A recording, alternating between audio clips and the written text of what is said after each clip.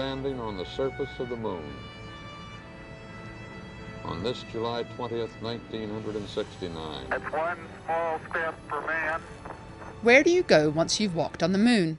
It's no ordinary question, but one from which even us earthlings could all learn, especially if retirement's beckoning. Canadian Chris Hadfield retired last year as an astronaut. He says the original moonwalkers had it the hardest. Most of the astronauts have had a really tough time afterwards, where some of the earlier astronauts, and they didn't have uh, the pathfinders in front of them. They they were really forging out in a new area, and also they were extremely focused on uh, the job at hand. And it was a race to the moon, of course. And so there was a deadline and a very clear definition of winning and losing and what success was.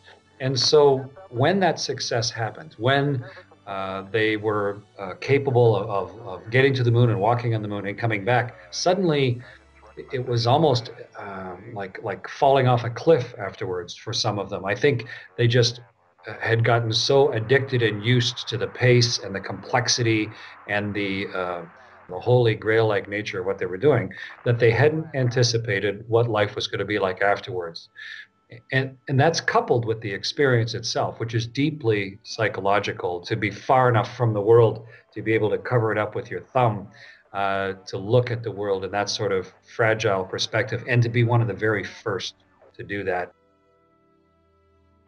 Chris Hadfield spent a good chunk of his career as a fighter and test pilot. The pull of speed and open sky drives pilots like these here in Sweden testing Saab's latest fighter jet. Astronauts often start here at the controls of a fighter jet, aiming for the clouds.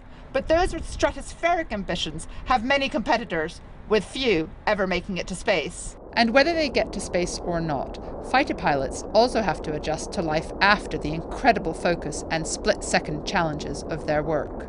I must plan for uh, quitting flying fighters because that's not something you can you want to do the whole career. But I think um, it's important to replace the flying with some other challenge and that challenge could be anything from garden work to cycling.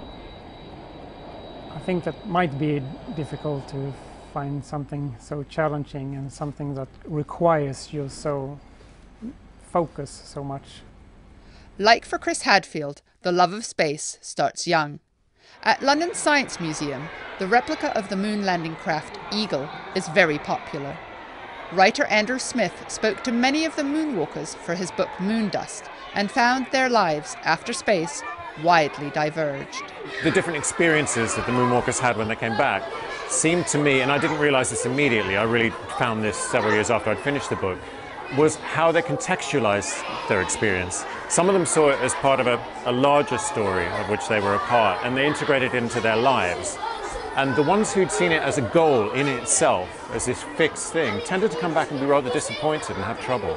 If you, if you take the experiences of, say, two astronauts like Buzz Aldrin, who was on the first mission, and Alan Bean, who was on the second, Buzz came back and he was very, very focused on that goal of getting to the moon and getting there first. And he came back and really struggled, couldn't really settle, nothing seemed quite right. He was selling used cars within a couple of years. Whereas Alan Bean, who was on the second mission, had always been quite a creative character anyway, and he'd always had a, a yen to be a painter. So he, on the way back from the moon, decided that he was going to follow that dream of his, and he came back and he became a painter. And he paints scenes from the lunar landings endlessly and does very well. He's very successful. Most contented man I've ever met, I think. Today's astronauts seem to be better prepared for life after space avoiding the descent into alcoholism and clinical depression that plagued Buzz Aldrin and others. Chris Hadfield was captain of the International Space Station before retiring. He shot to fame with his gravity free version of David Bowie's Space Oddity. Being an astronaut, like a lot of professions, is all consuming. It's not a job.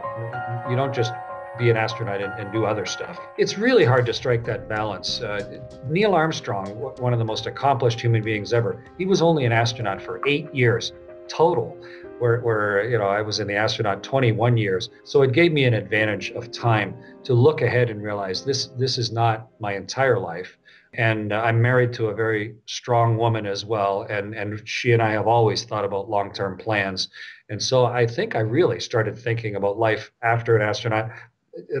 the day I got selected as an astronaut, where how is this going to fit into the overall picture? Let's do this part right. Let's really focus on it, but let's recognize that this isn't the my complete life. This isn't the only thing that's going to happen in our lives. To him, retirement isn't the end. He now lectures in aviation, has written his memoirs, and has many speaking engagements. It's funny now, everybody asking me, so now that you've retired, boy, what are you doing with all your time? And I sort of look back, I used to be a downhill ski instructor, and I was a fighter pilot and a test pilot. I think I've retired five times. And so I, I remind people that after I retired from the Air Force, then I commanded a spaceship. So retirement and the end of something does not mean that everything is over. There's always new stuff to do and new opportunities. And that is the real delight and, and richness of life, I think, if you can really focus on doing well at what you're doing now, but then readdress it when that particular phase is over and look forward to doing the next challenging thing. I think uh, that makes life uh, as worth living as possible. There should be nothing stopping you from shooting for the moon. But be prepared, find support, figure out a way to contextualize it within your life. Ask yourself are you a Chris Hadfield or are you a Buzz Aldrin? Because that'll make all the difference when you come back down to earth. Carola Hoyos, Financial Times, London Science Museum.